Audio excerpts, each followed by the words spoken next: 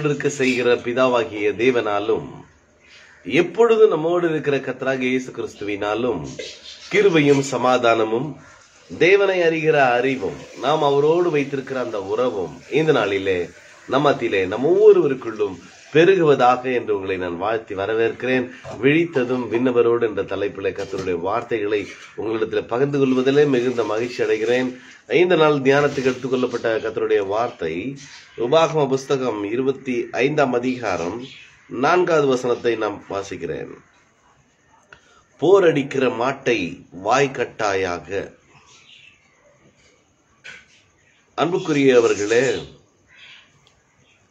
இதற்கு முன்பதாக இருக்கின்றதான வசனத்தின் தொடர்ச்சியாக இங்கே இருக்கிறதை நாம் பார்க்கிறோம்.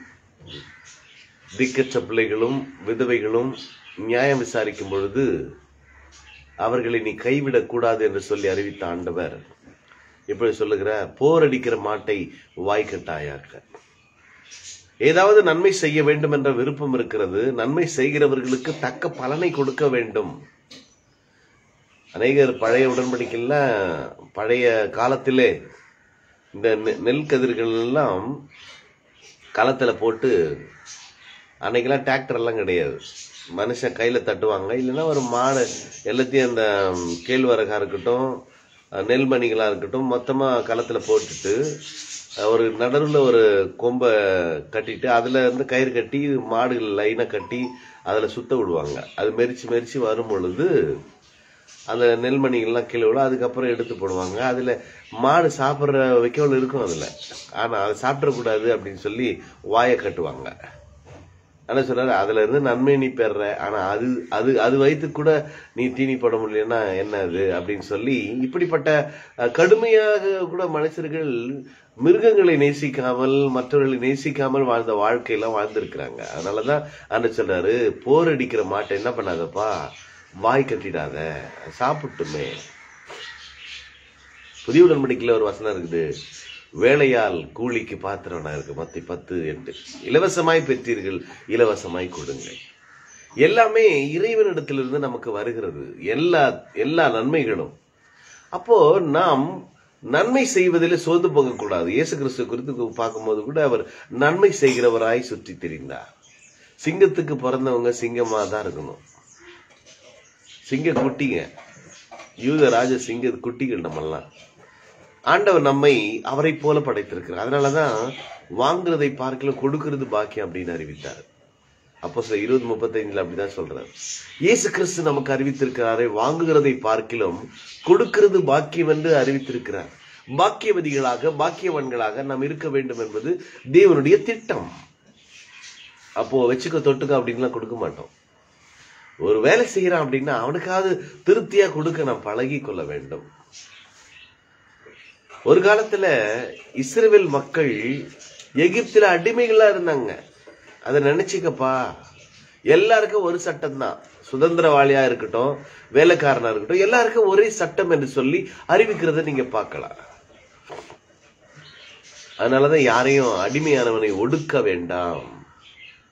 போரடிக்கிற மாடு பாது. அது போரடிக்கிற. அதை போய் வாயை கட்டிடுறியே ஆகவே போரடிக்கிற மாட்டை வாய்க்கட்டாயாக கொடுக்க வேண்டியவர்களுக்கு கொடுத்து தீர வேண்டும். நன்மை செய்ய வேண்டும். இதுல முக்கியமா தெரிஞ்சு கொள்ள வேண்டியது என்னன்னா யாரையும் யாரும் அடிமைப்படுத்தி வாழ்கிற வாழ்க்கையை விரும்பக்கூடாது என்று சொல்லி ஆண்டு சொல்றார். ஒருவன் குற்றவாளியே இல்லை அவனை போயிட்டு நியாயஸ்தானத்துல போய் குற்றவாளியா தீர்த்துறாதீங்க. ஏன்னா அவன் புலம்புவான் அது ஏன் என்னுடைய சன்னதியில வர அது உனக்கு பாவமா இருக்கும். இப்படி நிறைய சட்டத்திட்டங்களை இஸ்ரேல் மக்களுக்கு கொடுத்துருக்கும் பொழுது இது மிக முக்கியமாக சொல்றார். போரடிக்கிற மாட்டை வாய்க்கட்டாயாக இதே போல பவுல் இந்த வசனத்தை ஊழியக்காரர்களுக்கு பயன்படுத்தும் போது குருது சபைக்கு ஒன்பதாம் அதிகாரத்துல பேசுறதை நீங்க பார்க்கலாம். நான் ஒருவரிடத்திலும் இலவசமாய் வாங்காமல் வேலையால் கூலிக்கு பாத்திரவனாக இருக்கிறான். அப்போ போரடிக்கிற மாடு பாது அதை வாய் கட்டுறார. கொடுக்க வேண்டியவங்களுக்கு கொடுங்க. ஷேரிங் ரொம்ப முக்கியம் அப்படின்னு சொல்லி கொடுப்பு கொடுப்பதை குறித்து அந்த ஒன்பதாம் விசனமா கொடுக்காத. கட்டாயமாயும் கிடையாது. புதிய உடன்படிக்கையில் இவ்வளவுதான் கொடுக்கணும் பத்துல தான் அப்படின்ற கட்டளையே கிடையாது. அது அன்னைக்கு ஒரு ஒழுங்குக்காக நியாயப்பிரமாணத்தில் தேவன் கொடுத்தா. ஆனா புதிய உடன்படிக்கை என்பது இவ்வளவு என்கிற அந்த கண்டிஷனல் கிடையாது. எவ்வளவுனா கொடுக்கலாம். மனவிருந்து கொடுக்கணும். மன விருப்பத்தோடு கொடுக்கணும். அஹ், உற்சாகமா கொடுக்கணும். இது தேவனுக்காக கொடுக்கணும். கொடுத்தா வச்சுக்க தொட்டுக்க இந்த அதாவது பத்து குத்தா நூறு கொடுப்பாரு. அந்த கான்செப்ட்லாம் கிடையாதுங்க. தேவன் எனக்கு ஆசீர்வத்திருக்கிறார். நான் ஆசிர்வதிக்கப்பட்டவன். என் தேவன் தர்ம பிரபு நான் அவருடைய பிள்ளை. அதனால நான் தர்மம் பண்றேன் அப்படின்னு சொல்லி நாம் எதை செய்தாலும் அதை உற்சாகமாய் செய்ய வேண்டும். தர்ம காரியங்கள் அப்படின்னு ஒன்பதாம் அதிகாரத்தில் ஆரம்பிப்பார். பரிசுத்தவான்கள் தான். கடவுளை ஏத்துக்கிட்ட அத்தனை பேரும் பரிசுத்தவான்கள் தான். ஆனா ஆனா கஷ்டப்படுறாங்களே. இன்னும் வளரலையே. அப்ப அவர்களுக்கு நீங்க உதவி செய்யுங்க. விசுவாசிகள் விசுவாசிகளில ரொம்ப பலவீனம் உள்ளவங்களை தாங்குங்க அப்படின்றாரு. அப்போ சிலர் வந்து இந்த ஊழியெல்லாம் பண்ணுறாங்க மூப்பன் மூப்பு ரெட்டிப்பான நன்மைனா அவனுக்கு கனம் பண்ணு அப்படின்றாரு. நிறைய விஷயங்கள் கொடுப்பது என்பது தேவனுடைய குணமாக மனமாக இருக்கிறது. அப்போ தேவனை ஏற்றுக்கொண்ட தேவன் எனக்குள் இருக்கிறார் எனக்குள் வாழ்கிறார் அப்படின்னு சொல்லிட்டு வேலைக்காரனுக்கு கூட கூலி கொடுக்காத எஜமான்கள் எத்தனை பேர் இந்த உலகத்தில் இருக்கிறாங்க? கஷ்டப்பட்டு கொடுப்பாங்க. லாபம் அதிகமா இருந்தா கொடுக்க மனசு வரும். ஆனா கொஞ்சம் கஷ்டமா வருமானமே வரலன்னா கொடுக்கறதுக்கு கஷ்டப்படுவாங்க. ஆசீர்வாத பணங்கள். ஆசீர்வாதங்கள் என்பது கொடுப்பதில் இருக்கிறது என்று வேதம் சொல்லுகிறது. அன்புக்குரியவர்களே கொடுத்து பழகுங்கள். அன்பை கொடுங்கள் முதலாவது. அடுத்தது வசனத்தை கொடுங்கள். அதுக்கப்புறம் நீங்கள் ஆசீர்வாதத்துக்கு ஏற்றபடி நீங்கள் மற்றவர்களுக்கு கொடுக்கிறவர்களாக மாறுங்கள். கர்த்தர் உங்களை கொடுங்கள் அப்போதும் கொடுக்கப்படும் என்று சொன்ன அவருடைய அளவில்லாத ஆசீர்வாதங்கள். க- எண்ணிக்கைக்கு அடங்காத கற்பனைக்கு எட்ட முடியாத இழுக்க முடியாத ஆசீர்வாதங்களை அவர் நமக்கு தந்திருக்கிறார் தருகிறார். ஒவ்வொரு நாளும் நம்ம அனுபவிக்க போகிறோம் என்கிற உணர்வோடு கூட இந்த நாளை கடந்து செல்லுவேன். என்றால் போரடிக்கிற மாட்டை வாய் கட்டிடாதீங்க. ஒரு சிலது பார்த்தீங்கன்னா இந்த மாடு மாடுன்னும் போது அதில் ஆண்டவர் சில விஷயங்கள்லாம் இயற்கை அந்த மிருகங்கள் இதெல்லாம் வைத்து நமக்கு சொல்லி கொடுக்கறத நீங்கள் பார்க்கலாம். ஏசியாவில் ஒன்னாதிகாரத்தில் வாசித்து பார்த்தீங்கன்னா கழுதைக்கு தெரியுதியா? ஆண்டவனுடைய முண்டனை என்னன்னு. மாடுக்கு தெரியுது எஜமான் யாருன்னு. அது ஆனால் ம- என் நீங்களோ என்னை குறித்த உணர்வும் இல்லை சொரணையும் இல்லை அறிவும் இல்லை அப்படின்றாரு. அதே மாதிரி இங்கே போர் அடிக்கிற மாடு போர் அடிக்க வைக்கிற அதுக்கு நீ வாயை கட்டிடாத. இந்த மூக்கு அந்த இது போடுவாங்க சாப்பிடக்கூடாது அப்படின்னு சொல்லி. அது சாப்பிட்டு இன்னொன்று ஒரு கான்செப்ட்னா சாப்பிட்டுட்டு இருந்தால் அது மற்ற வேலையை செய்யாத. சாப்பிட்டுன்னு ஒரு இடத்துல இருக்கும். அது சுற்றிக்கிட்டே இருக்கணும். அன்புக்குரியவில் வேலை செய்கிறான் அப்படின்னா அவனுக்கு கூலியை கொடுத்துருங்க. ஆகவே இந்த வார்த்தை தேவனுடைய இதயத்தை பிரதிபலிக்கிறதா இருக்கிறது என்கிற உணர்வோடு கூட நம் நம்ம கிட்ட யார் என்ன செய்தாலும் அதற்கான பரிகாரம் அதுக்கு செய்ய வேண்டிய கடமைகளை செய்து தீருங்கள். ஆண்டவருடைய உத்தமமான மனதை பிரதிபலியுங்கள். கர்த்த நம்மை வாலாக்காமல் தலையாக மாற்றி இருக்கிறார் கீழாகாமல் மேலாகத்தான் இருக்கிறோம். இந்த நிலையை புரிந்து கொள்ளுங்க. இன்றைக்கு ஒருவேளை உங்கள் சூழ்நிலைகள் இல்லாத நிலையில் இருக்கலாம் கஷ்டத்தில் இருக்கலாம். ஆனால் நிச்சயமாக உங்கள் வாழ்க்கை மாறும். ஏனென்றால் நீங்கள் கிறிஸ்துவுக்குள் இருக்கிறீர்கள். இருந்தால் நீங்கள் புது சிருஷ்டியாகத்தான் இருப்பீர்கள். நீங்கள் கொடுப்பீர்கள். நீங்கள் அளவிலே ஆசிர்வதிக்கப்பட்டவர்கள் என்பதை உணர்ந்து ஆசீர்வாதத்தை கொடுங்கள். கொடுங்கள். அப்போது உங்களுக்கு அமைக்கி அமுக்கி குலுக்கி மடியில் சரிந்து விடல அளவில்லாத ஆசீர்வாதங்களை ஒவ்வொரு நாளும் அனுபவிப்போம். நாம் ஜபிக்கலாம். அந்நிய தேசத்தில் அலைந்து தீரிந்தாயோ நானோ உன் கையில் செங்கோல் கொடுத்தேனே.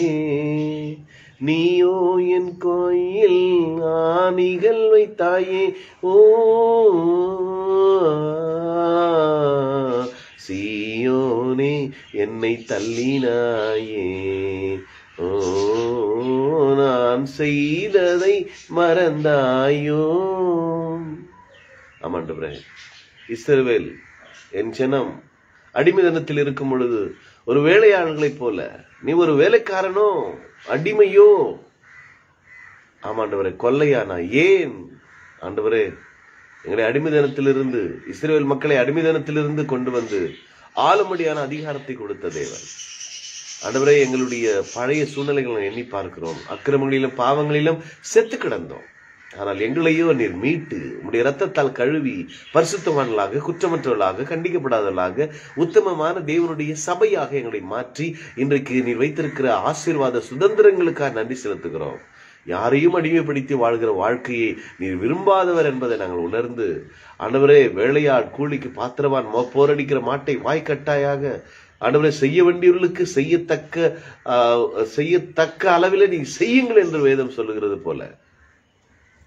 யாரையும் குற்றவாளிகளாக ஐயம் தீர்த்து ஆண்டவரை விட்டுவிடாதபடி ஓ எல்லாரையும் நேசித்து வாழுகிற அன்பை பிரதிபலித்து வாழுகிற ஆண்டவரை உள்ளங்களாய் ஒவ்வொருவரை நீர் ஆண்டவரை மாற்றுகிறீர் உணர்த்துகிறீர் போதிக்கிறீர் நன்றி செலுத்துகிறோம். இந்த வார்த்தைக்கு ஏற்ப எங்கள் வாழ்க்கையில ஆண்டவரை வெளிச்சத்தின் மேலே வெளிச்சம் காண உதவி செய்யுங்கப்பா.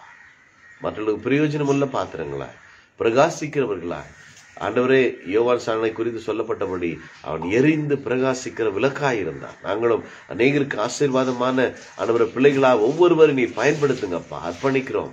வருமானங்கள் பெருகட்டும். ஆசீர்வாதங்கள் ஒவ்வொருவரை பிடித்து கொண்டு ஆளுகை செய்யட்டும்.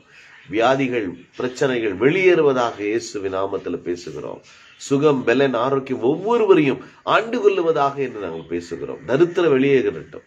ஐஸ்வர்யம். ஆண்டவரை நாங்கள் ஐஸ்வர்யம் வாங்கும்படி நீ தரித்திரானீர் அதற்காக நன்றி செலுத்துகிறோம்.